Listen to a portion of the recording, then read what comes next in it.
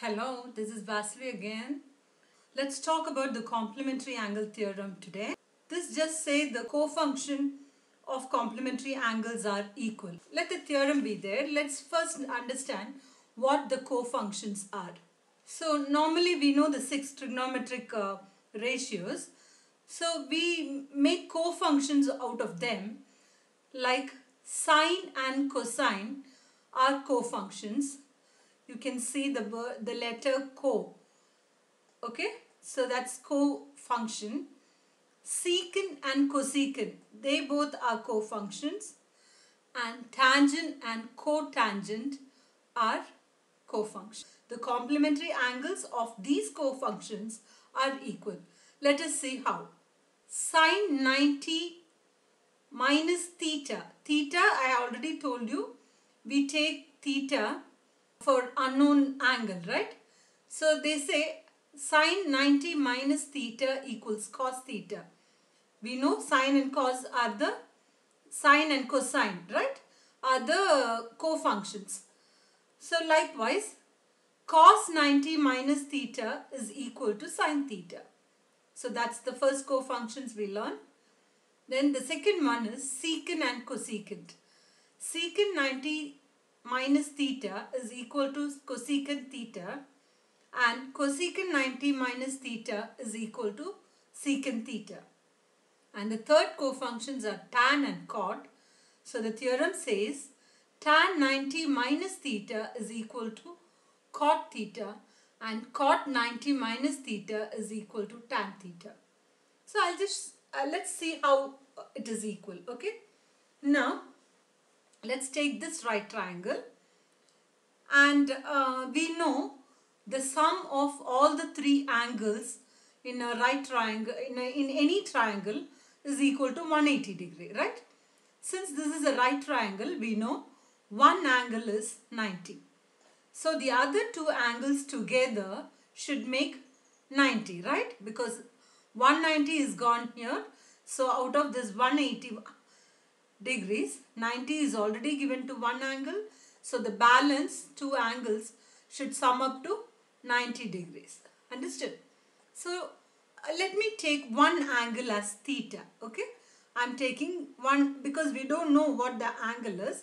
So if I take it as theta, the other angle would definitely be 90 minus theta, right?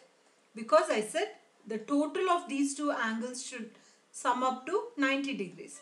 If this one is theta, the other one should be the balance of 90 degree, right? So that is 90 minus the theta.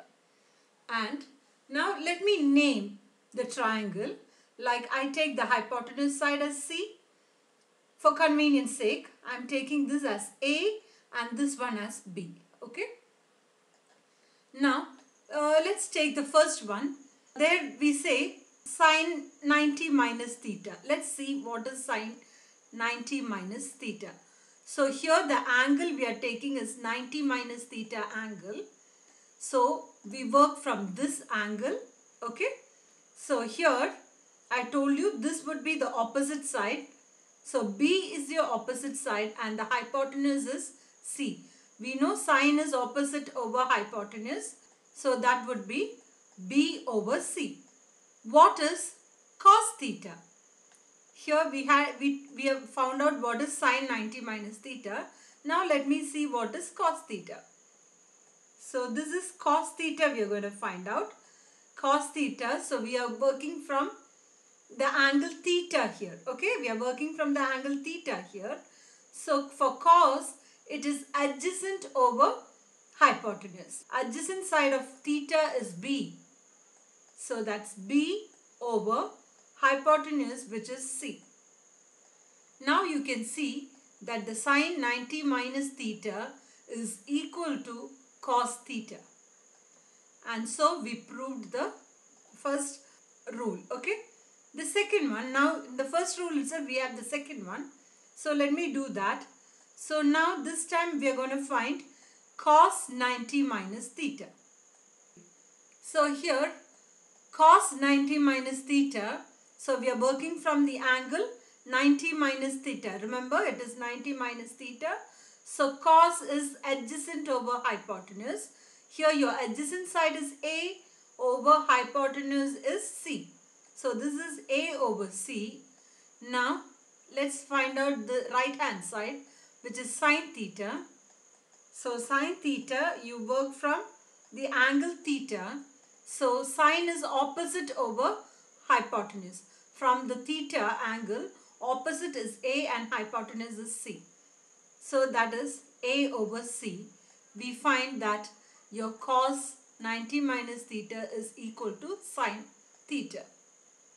Likewise, if you check the other complementary angles given here, you find that they are all equal. The left hand side would be equal to the right hand side. Secant 90 minus theta.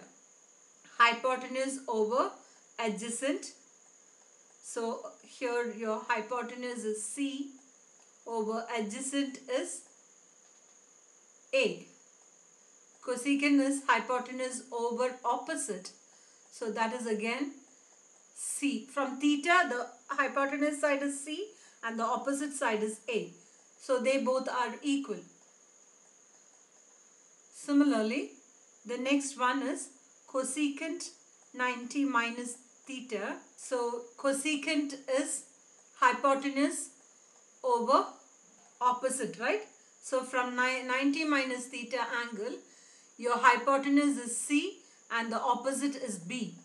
Secant theta, it says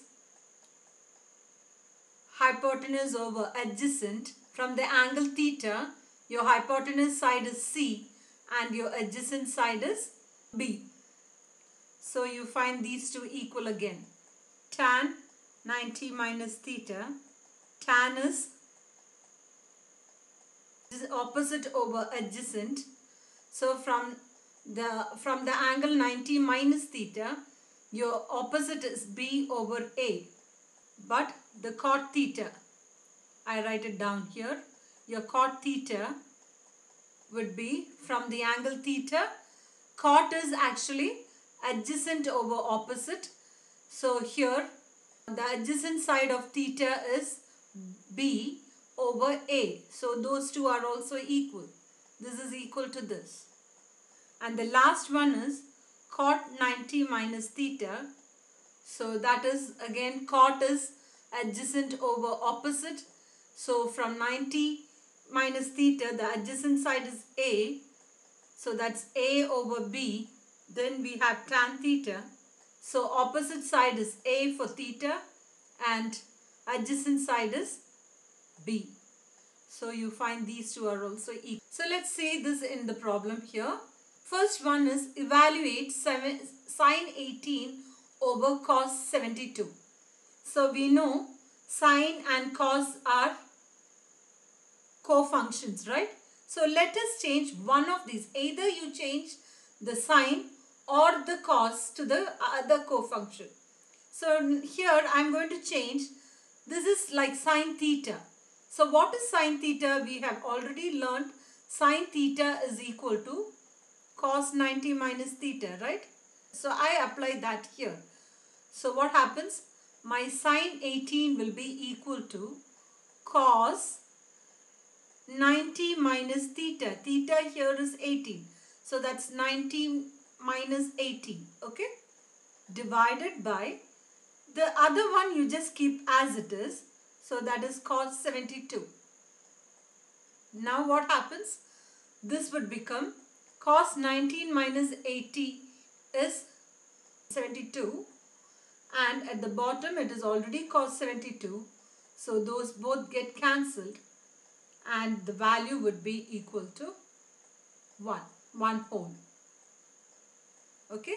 This is the this is the answer for sine 18 over cos 72 isn't that easy? So let's look at the next problem. Here they say show that tan 48 times tan 23 times tan 42 times tan 67 is equal to 1. So let me take the LHS first. The LHS is left hand side. Let me take the uh, ones on the left hand side first. So here first you have to decide which one you're going to convert to co-functions. Okay. So see the pair 48.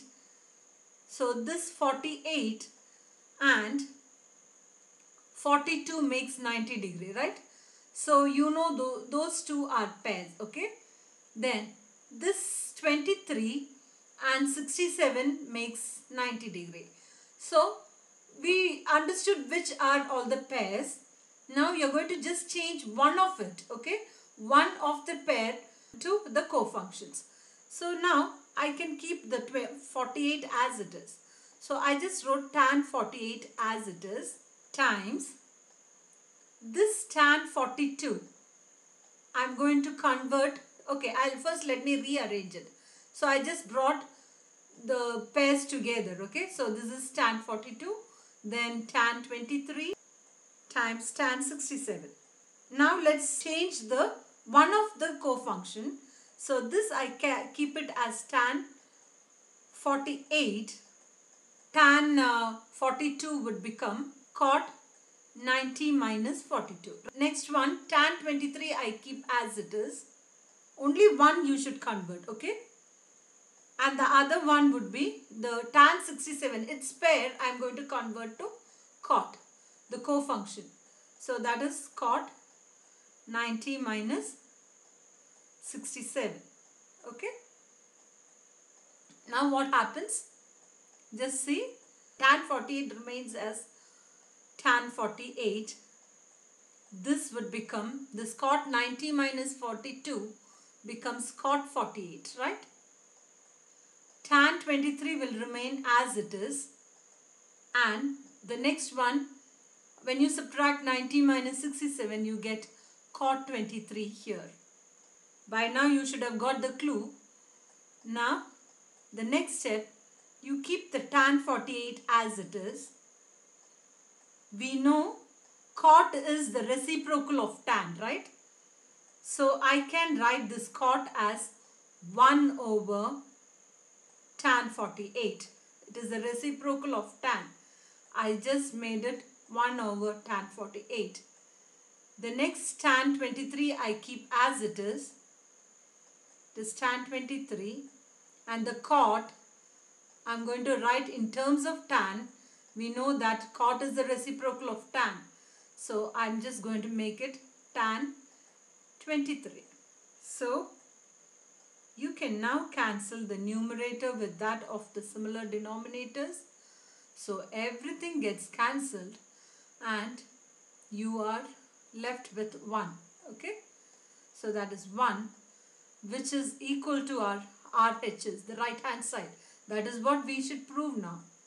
So it is equal to RHS. Your LHS is equal to your left hand side is equal to right hand side. Hence it is proved. This is done.